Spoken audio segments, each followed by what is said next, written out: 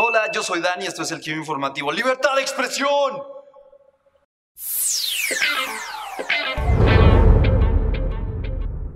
Esta semana en California, más específicamente en la Universidad de Citrus, un estudiante llamado Vicenzo Sinapi Riddle denunció a su universidad por violar la primera enmienda. Ya saben, libertad de expresión. Este muchacho de 20 años que estudia ciencias computacionales dice que es porque al estar platicando con otro alumno sobre una campaña contra espionaje de la Agencia de Seguridad Nacional, un oficial del campus le dijo que estaba fuera de zona de libertad de expresión y que si no se detenía el oficial tendría la autoridad para sacarlos del campus. Las zonas de libertad de expresión son más que nada lugares donde puedes comunicar ideas de este tipo que causan discusión.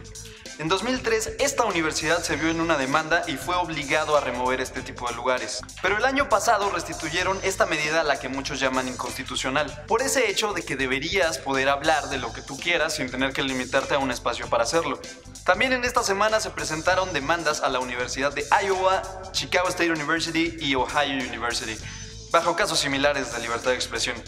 Díganos ustedes qué piensan sobre todo esto, si las universidades deben de tener o no censura. En los comentarios ahí abajo. Esto ha sido todo por ahora. Recuerden darle click en el botón de suscribirse, denle pulgar arriba para apoyar al show. Para más noticias vayan al kiwi.mx y no olviden seguirnos en nuestras redes sociales, Facebook y Twitter, arroba el kiwimx y diagonal el kiwimx. Yo soy Dan y creo que todos deben hablar lo que quieran, cuando quieran y así. Bueno, en lo razonable. ¿no? Libertad de expresión, chavos. Yeah.